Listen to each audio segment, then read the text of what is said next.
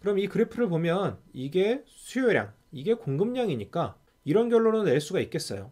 아, 매년 실제로 입주돼서 공급되는 양이 필요한 양보다 많기 때문에 수도권의 주택시장은 안정을 찾을 것이다. 이렇게요. 과연 이게 맞는 말일까요? 심각한 오류가 하나 있는데요. 안녕하세요. 집샘TV입니다. 오늘은 제가 걱정하고 있는 부분을 말씀드려 볼까 하는데요. 아파트 투자를 할 때 혹은 내 집 마련을 하실 때 자신만의 기준이 있으실 겁니다. 가령 중학교 학군이 좋은지, 학원가와 얼마나 가까운지, 내가 다니는 직장까지는 얼마나 걸리는지, 아니면 인근에 상가나 백화점 같은 편의시설이 있는지요.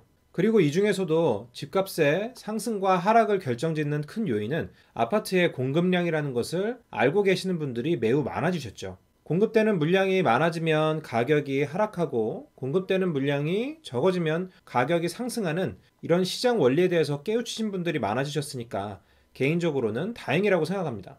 우리나라에서 부동산을 사는데 거의 전 재산이 투입되는데 가격이 올라갈지 내려갈지 모르고 사는 건 너무 위험 부담이 크니까요. 그런데 공급 물량과 관련해서 우리가 한 가지 간과하고 있는 것이 있는데요. 내 집 마련을 하실 분들이나 투자를 하실 분들은 꼭 알고 계셔야 하는 중요한 부분입니다. 끝까지 잘 보시고 각자 생각을 정리해 보셨으면 좋겠어요. 특히 수도권에 사셔야 할 분들이라면 말이죠. 최근에는 이 공급 물량을 지역별로 쉽게 알아볼 수 있는 홈페이지가 많이 생겼어요. 부동산 지인은 이렇게 지역별로 수요량과 입주량을 찾아보기 편하게 만들었고요. 호갱 노노에서는 입주 예정 물량을 지도를 통해서 어느 위치가 과물량인지 아니면 공급 부족인지를 파악하기 쉽게 만들었습니다. 그리고 아실에서는 지도 보기와 입주량 보기를 적절히 반영해서 자료를 공개하고 있죠. 어떤 지역에 필요한 주택수를 구하는 방법은요. 그 지역의 인구수의 1000분의 5를 곱하는 식으로 구하는 것이 일반적인데요. 예컨대 이 경기도의 인구수는 약 1340만 명이고 여기에 1000분의 5를 곱하면 6만 7천호가 매년 새롭게 필요하다는 말이 됩니다. 정확하게 이 숫자를 넘어서 공급이 되면 집이 부족하니까 가격이 올라갈 거라고 말할 수는 없어요. 그렇지만 훌륭한 기준점이 될 수는 있겠죠. 이 수요량은 크게 변하지는 않는 데 반해서 공급량은 부동산 경기나 혹은 정책에 따라서 들쭉날쭉 변화가 굉장히 심한 것을 볼 수가 있습니다. 그래서 잘 변하지 않는 수요량이 좋은 기준점이 되는 거죠. 이 수요량은 대부분 신혼부부가 차지를 하고 있어요. 그런데 여기서 우리가 지나치고 못 보고 있는 문제점이 하나가 있습니다. 현재 이렇게 멀쩡해 보이는 아파트도 시간이 지나면 언젠가는 이런 식으로 노후화 된다는 사실입니다. 이렇게 30년에서 40년이 넘는 아파트가 점차 인기가 떨어지죠. 그리고 안전상 문제도 발생하고 주차 공간도 부족하고 용적률도 부족해서 아예 부셔버리고 새로 짓는 것이 바람직합니다. 물론 사업성이 받쳐줘야 되죠. 그래서 이런 이유들 때문에 재건축 연한을 30년으로 정했는데요. 물론 얼마든지 고쳐서 더 사용은 할 수가 있어요. 30년이 넘었다고 해서 무조건 부셔버려야 하는 건 아니죠. 다만 그 이상 연차가 올라갈수록 집을 구하시는 분들 입장에서는 선호도가 많이 떨어지게 됩니다. 누구도 오래된 아파트에 살고 싶어 하지는 않아요. 여기서 좀 극단적이긴 하지만 30년이 넘어간 아파트는 살 수 없다. 혹은 살기 싫어서 빈집으로 둔다. 이렇게 가정을 해보자고요. 실제로 관리만 잘하면 더 살 수 있지만 이해 편의를 위해서니까 오해는 하지 마시고요. 수도권 같은 경우에는 충분히 헌집을 부수고 새 집을 지어도 사업성이 나오고 30년 이상 구축이 많아질수록 신축과 준신축에 대한 선호도가 올라갑니다. 그래서 새 집의 가격은 더욱 오르게 되죠. 그런데 재건축 진행을 해야 하는데 재건축 초과 이익 환수제나 분양가 상한제 등 여러 이유로 진행하기가 어려우니까 시간이 흐를수록 이런 구축 아파트는 점차 늘어나고 있어요. 그런데 지어진 지 오래된 이런 아파트들이 늘어나는 속도가 매우 무서워요. 개인적으로는 큰 사회 문제가 될 것 같아서 걱정스러운데요. 그 중에서도 특히 수도권이 문제죠. 통계청에서 받은 자료인데요. 각 지역별로 아파트가 몇 호나 준공이 되었는지 연도별로 나눈 표예요. 여긴 안 나와 있지만 1960년도부터 2018년도까지 자료가 있고요. 2019와 2020은 여기에 없어서 주택 건설 실적 통계에서 이렇게 따로 뽑아왔습니다. 여러 지역을 일일이 보지는 않고 이 전국의 총 합계와 그리고 서울, 인천, 경기를 합한 수도권의 데이터를 나눠서 볼 건데요. 몇 년도에 얼마만큼의 아파트가 준공되었는지를 알 수가 있겠죠.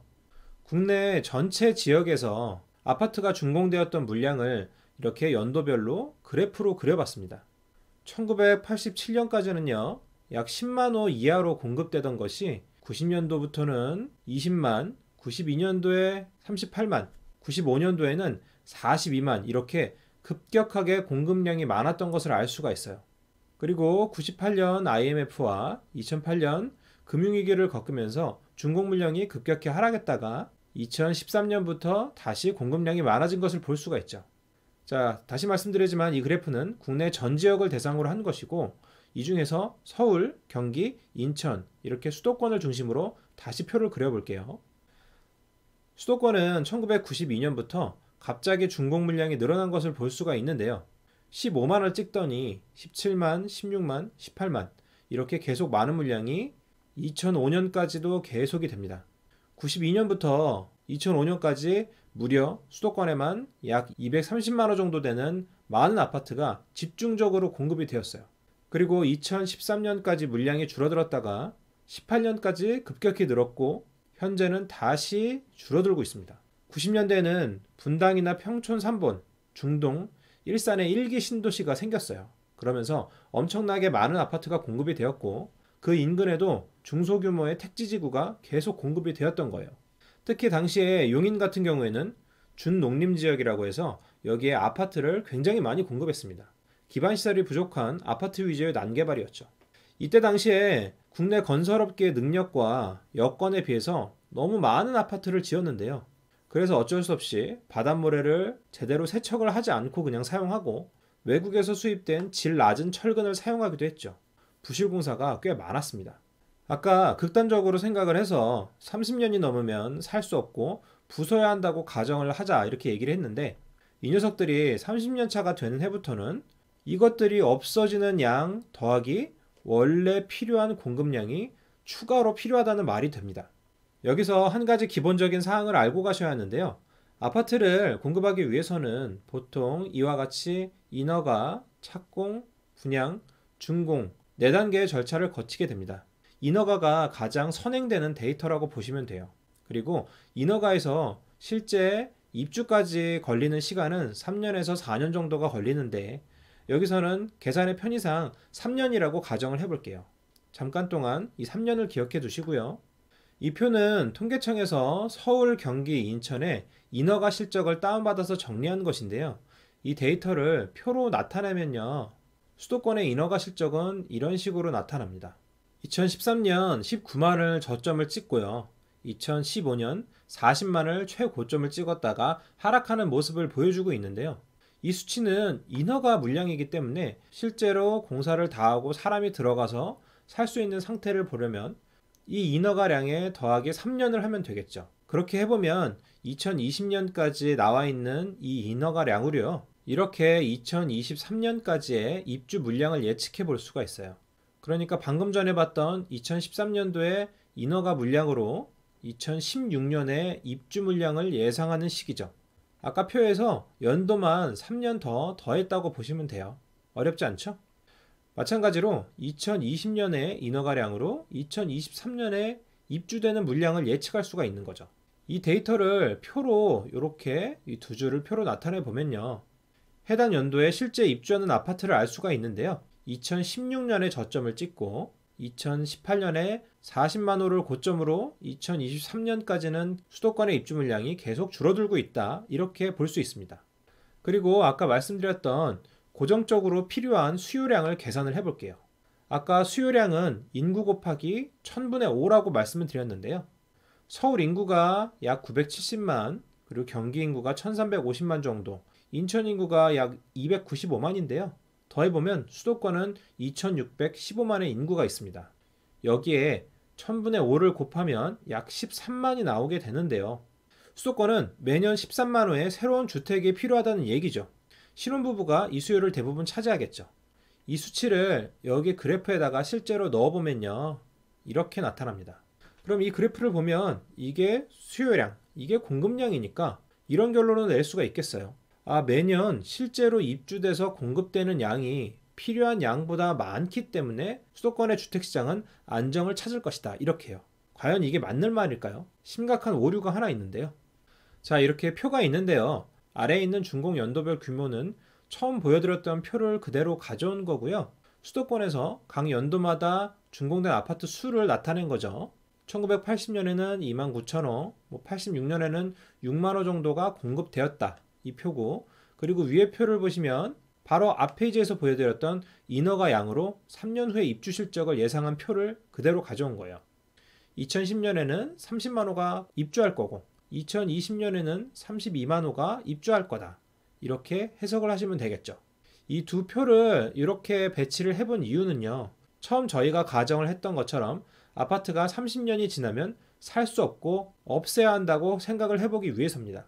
그러니까 1980년에 2만 9천 호가 공급이 됐는데 30년 후인 2010년에는 2만 9천 호가 없어져야 한다. 그리고 2020년에는 32만 호가 공급이 되는데 1990년에 지어진 8만 8천 호가 30년 차가 되기 때문에 없애야 한다. 이렇게 생각을 해보는 거죠.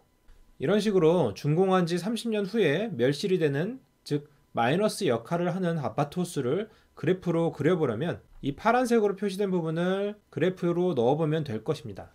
그래프는 이런 식으로 나타나는데요. 30년 전에 건축돼서 없어져야 할 물량이 점점 늘어나는 것을 볼 수가 있어요. 결국 이러한 멸실되는 물량은 공급량에서 마이너스 역할을 하는데요. 현재 2021년은 멸실 물량이 8만 7천 호 정도 되는데요. 2022년부터 정말 무서운 일이 발생할 것이 보이죠. 22년에는 거의 현재보다 두배 가까이 뛰어서 15만 호, 22년 17만 호, 24년에는 16만 호 이렇게 멸실되어야 할 물량이 많은 상태가 지속적으로 유지가 됩니다. 2030년까지만 넣어봐서 그렇지 사실 2035년까지도 없어져야 하는 물량은 약 15만 호 정도를 계속 유지해요. 보다 정확한 판단을 위해서는 입주되는 물량에서 이렇게 멸실되어야 하는 물량을 빼면 시장에서 실제 체감하는 공급량을 알 수가 있을 거예요. 자, 입주하는 물량에서 없어지는 물량을 빼서 그래프로 나타냈어요. 그러면 이런 식으로 되는데요. 실제 공급 효과는 멸실 물량을 빼버리니까 전체적으로 낮아진 것을 알 수가 있습니다. 그리고 2023년으로 갈수록 급격하게 하락하는 것을 볼 수가 있는데요. 여기에 아까 봤던 필요한 주택 수 있죠? 매년 필요한 13만 호를 여기다가 넣어 보면 이렇게 됩니다. 아까 봤던 멸실되는 양을 대입하지 않았을 때는 주택 공급이 충분하게 그래프가 여기쯤 있었는데 실제 시장에서는 멸실되는 물량이 있기 때문에 이렇게 모자란다고 느끼게 될 것입니다. 여기에 그래프에 나타나지 않은 뒷부분은 더 심각한데요. 2035년까지 없어지는 물량이 꾸준히 많은 상태가 유지될 것인데 이에 비해서 살만한 아파트의 공급이 매우 부족해질 거예요. 지금까지의 가격 상승이 엄청나게 급격하게 상승을 했는데 앞으로도 이를 막을 준비를 하지 않고 있다는 것은 정말 문제가 아닐 수가 없습니다. 투자자의 입장에서 집값이 오른다면 좋다고 생각할 수도 있지만 이 정도면 심각한 사회 문제가 될 거예요. 지금까지보다 더 심한 자산의 양극화가 시작될 것입니다. 그건 누구에게도 바람직하지가 않은데요. 이를 막기 위해서는 어떻게든 소형의 조그만 공공주택이 아닌 양질의 중형 민간주택을 수도권에 공급을 해줘야 돼요. 사실 여러 규제를 없애고 시장에 맡겨두기만 해도 알아서 공급이 되죠. 평소에 부동산에 관심을 갖고 있던 분들이라도 이해가 어려울 수 있는 내용인데요. 그럼에도 불구하고 매우 중요한 부분이니까 반복해서 들어보시기 바랍니다. 한 번 더 정리를 해드려 볼게요. 자동차로 비유를 해볼 건데요. 어, 차를 타고 싶은 수요는 항상 있고요. 큰 변동이 없어요. 그리고 이 수요자들 중에는요. 롤스로이스나 벤츠나 BMW, 제네시스를 살 능력이 있는 사람도 있고 그랜저나 소나타를 선호하는 사람도 있고 모닝을 사야 하는 사람도 있죠. 그런데 자동차의 가격 안정을 시키겠다면서 비싼 자동차인 벤츠나 BMW를 아예 못 만들게 해버렸죠. 이후에 그랜저나 소나타까지도 더 적게 만들도록 합니다. 그리고는 자동차 대수를 이 수요량에 맞춰서 늘리긴 해야 되니까 모닝을 5배 정도 더 늘려서 공급을 해요. 그러면 앞으로는 어떻게 될까요? 모닝은 흔해 빠진 차가 돼서 비슷한 크기의 마티즈를 포함해서 경차 가격들이 하락할 것이고 4인 가족이 선호하는 소나타나 그랜저 같은 중형 차량들은 새차 공급이 줄어드니까 중고차 가격이 올라갈 겁니다. 소비층이 두텁기 때문에 전체적인 가격이 상향될 거예요. 그리고 경제적인 여유가 있는 사람들이 선호하는 벤츠나 BMW 같은 고가 차량은 아예 새 차 생산을 하지 않으니까 만든 지 얼마 안 된 2년차, 3년차 차들부터 가격이 급상승할 거예요. 중고차임에도요. 그리고 5년차, 7년차 이런 중고차들도 키 맞추기로 쫓아가겠죠. 이 와중에 만든 지 오래돼서 폐차시켜야 할 정도의 차들이 점점 많아지고 있는 거예요. 가격 상위, 가격 중위에 있는 중고차들 가격이 모두 올라가겠죠. 계속 공급되는 경차 때문에 중고차의 경차 가격만 떨어질 겁니다. 그렇다고 아예 차를 안 살 수가 있나요? 거의 필수제에 가까운 성격이기 때문에 안 사긴 힘들겠죠. 그런데 집은 어떨까요? 집이 필요가 없다고 전세나 월세나 자기 소유나 집에 안 사는 사람이 있나요? 그렇지 않습니다. 누구나 멀쩡한 집에서 살고 싶어 하고 괜찮은 집, 좁지 않은 집에서 살고 싶어 해요. 이건 빼앗을 수가 없는 거예요. 괜히 생활에 필요한 3대 요소가 의식주가 아니겠죠. 어쨌든 결론적으로 우리가 단순히 입주 물량만을 봐서는 안 되고 이제는 공급된 지 오래된 주택들의 수명이 다해가고 있다는 사실과 이 물량이 많아지고 있다는 것을 잊어서는 안 될 것 같아요. 아파트 수명을 30년으로 가정해서 말씀드렸지만 35년 차, 40년 차에 이런 상황이 발생할 수도 있죠. 어쨌든 오래된 아파트가 쌓여간다는 건 바뀐 것이 없습니다. 아직 이 상황의 심각성을 모르시는 분들이 많아서 걱정이 되고 상황을 객관적으로 파악하셨으면 하는 바람에서 영상을 올려드렸어요. 오늘 내용이 도움이 되셨다면 좋아요와 구독, 알림 설정 부탁드릴게요. 감사합니다. 집샘TV였습니다.